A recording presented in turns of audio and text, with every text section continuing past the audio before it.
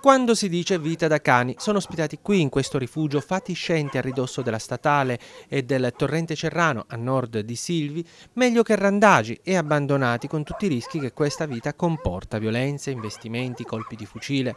Da anni ne hanno la cura Lega del Cane e tanti volontari amici che provvedono a vaccinazioni, cure e ovviamente alimentazione.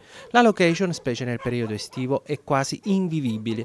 Le amministrazioni comunali che si sono succedute hanno sempre promesso ma mai mantenuto, almeno fino allo scorso 21 aprile, quando la sensibilità lodevolmente canina del sindaco Gaetano Vallescura ha portato il Consiglio Comunale a deliberare e in questi giorni l'amministrazione ha consegnato all'edilizia Candeloro di Chieti il progetto.